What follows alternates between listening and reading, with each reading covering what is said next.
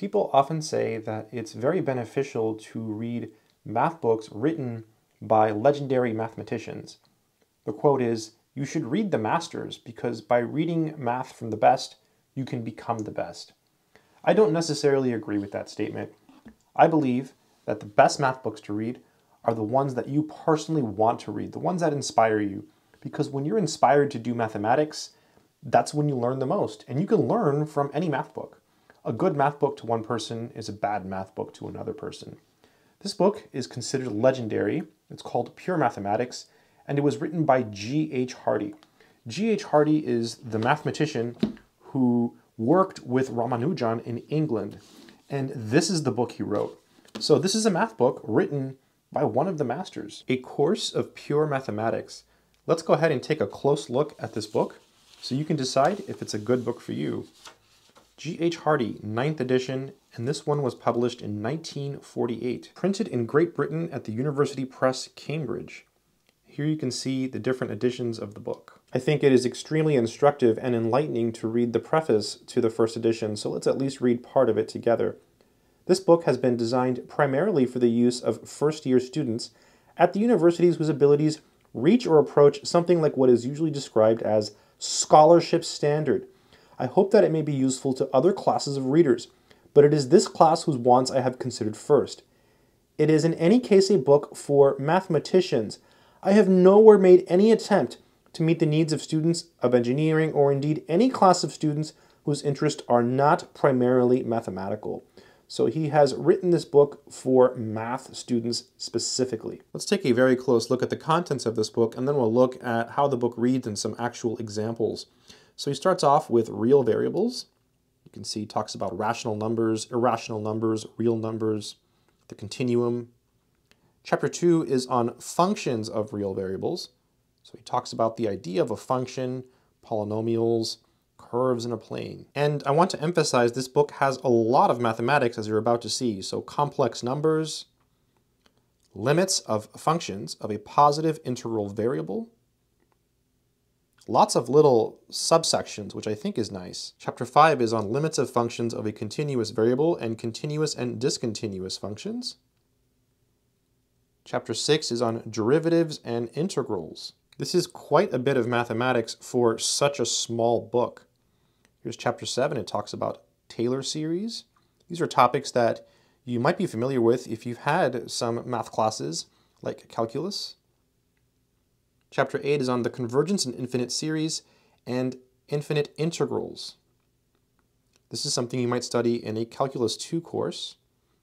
Chapter 9 is on the logarithmic, exponential, and circular functions of a real variable. And here are the rest of the contents. This book smells incredible.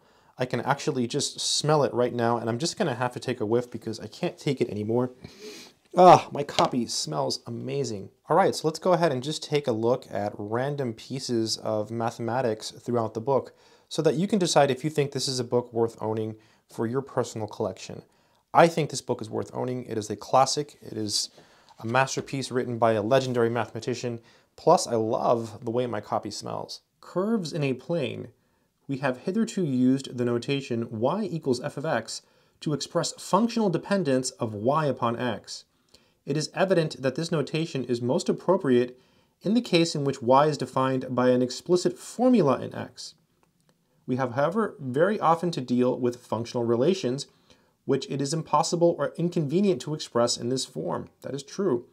If, for example, we have y to the fifth minus y minus x equals 0, or x to the fifth plus y to the fifth minus ay equals 0, it is known to be impossible to express y explicitly as an algebraical function of x. And then here he goes on and discusses some more mathematics. Here the logarithm is defined. Suppose first that x is positive, then we shall write the integral of 1 over x with respect to x is equal to log x. And we shall call the function on the right-hand side of this equation the logarithmic function. It is defined so far for positive values of x. Next, suppose x is negative. In this case, negative x is positive, and so log negative x is defined by what precedes. Also, if you take the derivative using the chain rule, you're going to get 1 over x. So that when x is negative, the integral becomes log of negative x. The formulae 2 and 3 may be united in the formula, the integral of 1 over x with respect to x is equal to the logarithm of the absolute value of x, where the ambiguous sign is to be chosen so that plus or minus x is positive.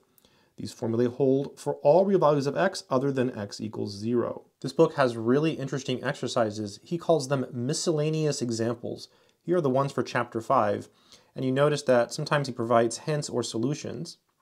The function phi of n takes the values 1, 0, 0, 0, 1, 0, 0, 1, dot, dot, dot, when n equals 0, 1, 2, etc. Express phi of n in terms of n by a formula which does not involve trigonometrical functions, and he gives you the solution there. But he doesn't show you how to come up with it. So a big con of this book, in my opinion, is that there's just not enough help. It would be really nice if there were full solutions. Look at this. Here is a question from the Mathematical Tripos 1903.